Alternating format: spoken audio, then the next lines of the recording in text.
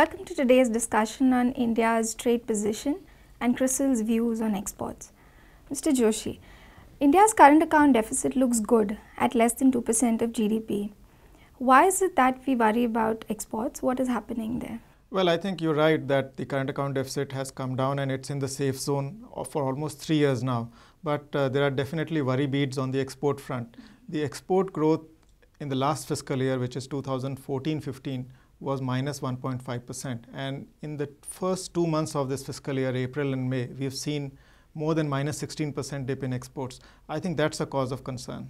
Oh, so is the export slowdown structural or cyclical? What are your views? Well, I think uh, uh, let's look also look at the reasons behind the slowdown in exports. I think there are three reasons. One is that the export markets uh, are not experiencing very high growth. I think particularly the Asian markets and the European markets are weak.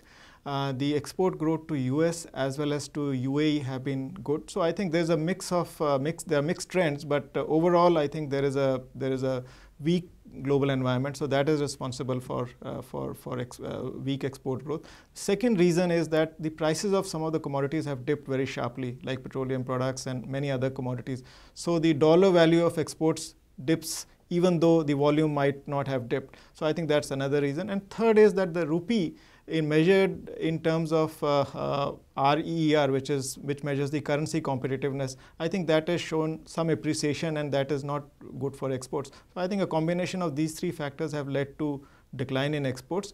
And as far as the structural versus uh, cyclical is concerned, I think it's largely cyclical, but there are structural elements also there because what's happening in the global trade environment is that the even though the world GDP growth picks up, the trade doesn't pick up that well. So the trade intensity of global growth is coming down, and that's one of the reasons why the Asian economies haven't seen a kick to their growth despite the fact that US is, is recovering. So I think there is there is uh, the transmission of global growth into trade is, has weakened somewhat. So that's that's that's something that we need to uh, uh, to explore further to see if it is actually a structural shift taking place there.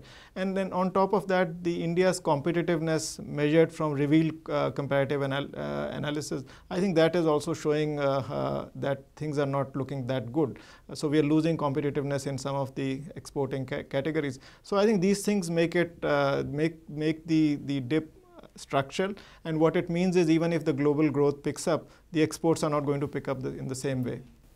Sure. So what should india do now going ahead well, I think in the short term, I think it has to facilitate trade, it has to give credit, etc., and in, in reasonable terms. But I think from a long-term perspective, you have to make your manufacturing competitive so that you can uh, compete with the rest of the world. Uh, the second thing that you need to do is uh, there are these trading agreements coming up, like the Trans-Pacific Partnership, where India is not a part of it. Now, TPP uh, is about 40% of our export market, and if we are not a part of it, we risk losing that export market. So we need to forge more relationships with other economies so that I think uh, trade relationships so that we, we uh, get into the, uh, into the cycle of uh, higher export growth. And then I think the third thing which we, we need to do is I think we need to move from low value added stuff to high value added stuff. And I think that will be that will be possible only when we improve the manufacturing climate in the economy, which is both through regulatory changes as well as through logistical improvements, etc. Thank you very much for your comments, Mr. Joshi. And thank you for watching CRISIL TV.